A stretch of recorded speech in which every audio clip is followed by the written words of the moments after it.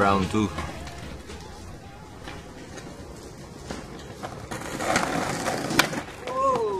Basically, me and my boy Ans were skating outside of the school.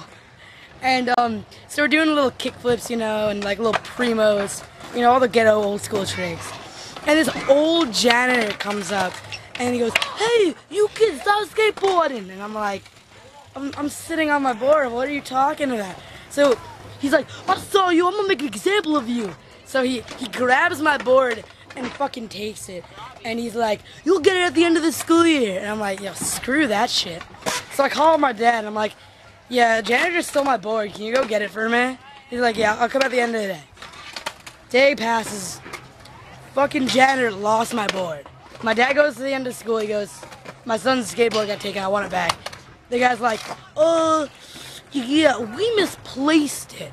So then my dad calls my mom. and My mom's like a lawyer, so she's like, do you have any right to take this? And this is ridiculous, and we want to be compensated for all that shit. So I'm like sitting at home, like, yeah, I'm about to get a new setup. So then my friend calls me up and he's like, dude, dude, we got your board. I'm like, what? She's like, yeah, man, we saw this little Mexican skating on in town. I'm like, so you guys just jacked it? He's like, yeah, man, yeah.